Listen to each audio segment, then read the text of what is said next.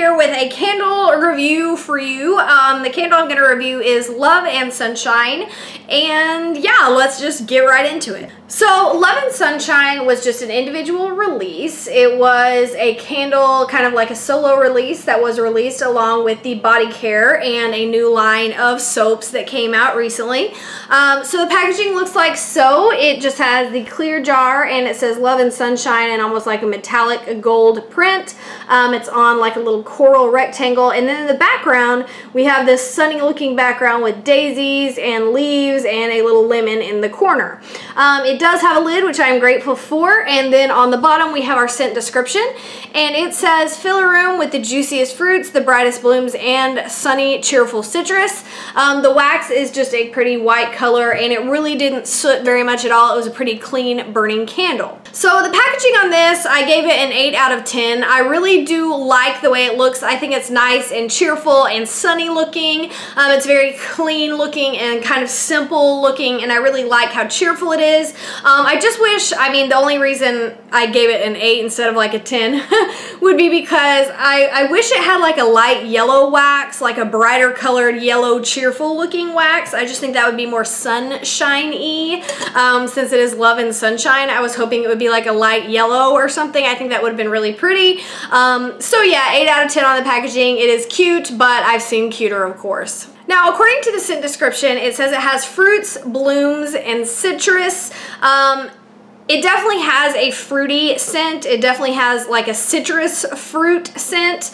Um, blooms, I don't get any floral from this at all. I do get a little bit of a perfumey smell and that might be what they're calling blooms or that floral note. Um, but primarily when you smell this, you get like a... Um, it's citrus, but it's not like lime or lemon. It's not like a sour, bitter citrus. It's more like an orange type citrus because it's really, really sweet. Um, it's like a it's like a sweet orangey type citrus um, and then you get like a little perfume note mixed in with that which sounds kind of weird and sounds kind of like unappealing but it actually is a really nice fragrance. Um, I also have the full size of this body care and I really enjoy the scent so if you see it smell it see if it's something that you would like because it really is a nice scent and I really do enjoy that about the candle. It's very pleasant. Um, I think I think most people will like it. I think um, I think this is one of those like appeal to the masses candles where everybody's gonna like it and no one's really gonna hate it, but nobody's probably going to love it, love it, love it. You know, like maybe a few people, but not the masses. So I think this is like just a like a strong average that the majority of people will like and buy and enjoy, um, but it's not gonna cause like a craze. Which you know, sometimes those candles that create like a buzz, like I don't know, the strawberry rhubarb one. Sometimes they're unique and they create a buzz because they're unique, but then a lot of people hate the scent. So um, when you take those risky scented candles, you know, it you, you do take a risk. People are either really going to love it and it's going to be like a cult classic or everyone's going to hate it and think it's disgusting. When you do like a safe candle like this, the majority of people will enjoy it. And so I would just kind of describe the scent appeal or how people are going to like this. I consider this very safe. Like um, this is a good candle that the, the majority of people will think is, you know, decent and nice and enjoyable. Um, so very safe. They didn't take a whole lot of risks with this scent, I don't think. All right, so the throw on this candle, unfortunately, was not that great. Um, I gave it like a 5 out of 10, just middle of the road. In the beginning, like the first day I burned it, it was pretty strong. Um, I would say it filled up like a medium-sized room, but then like the second, third, fourth day I burned it, it was virtually unscented. Like I literally had to be right right next to it to smell it. Um, so I was just like, well, let me just burn it up and get rid of it because it really was not very scented at all. Um, like I said, the first part of the candle was great, but then after about here, it was pretty much just unscented all the way through, and that was a bummer for me because I really did enjoy the scent, like I said.